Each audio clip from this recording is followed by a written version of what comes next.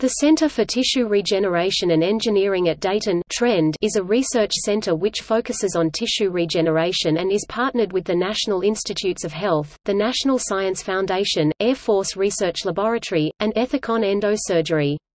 The center is located in Dayton, Ohio. The center has around 20 employees and funding for research comes 70% federal, 20% industry, 10% foundations or non-profit organizations.